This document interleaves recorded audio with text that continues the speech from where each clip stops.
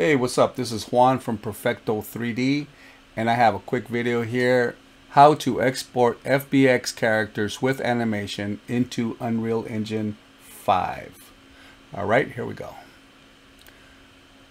I get the character I want. That's fine. Let's use this one. Okay, now let's do it. Again, we have the animation. Select the character export FBX clothed character. Um, so here you make sure you select Unreal. Make sure you select Mesh and Motion, Embed Textures, Max Texture Size, whatever you prefer. And we're going to do the animation. So I'll just click All here. And then we're going to export uh, we're going to press OK here. Krista test. FBX. We go to Unreal and we go to where we want to put the character, create a folder.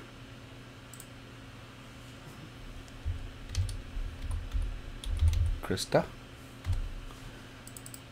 and right click import way at the top and then we look for our character desktop and all we got to do is find Krista test. Open. This is gonna pop up. You use whatever you want here. Uh, I usually use standard shader. Press OK.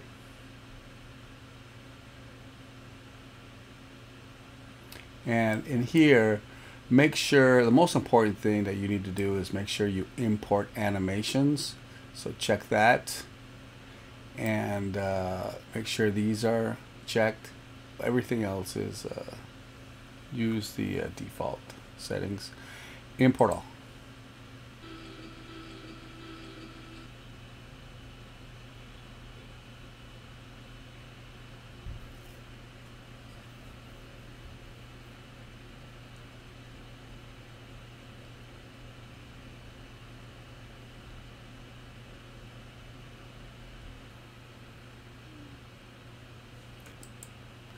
you go to the character which is the one that you import.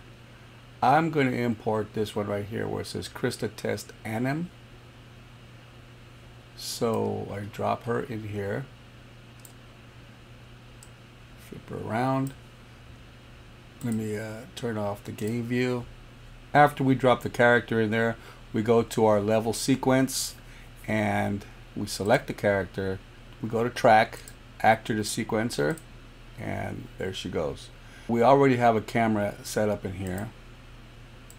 So right now we're going to just do a quick render so we can see that the animation is in fact in there. Okay, settings. Right now we're just going to go with the default settings and capture.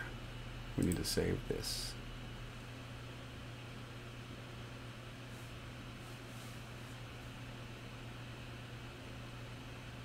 And there we go. Animation is playing. Character is in the scene. And that's how you do that.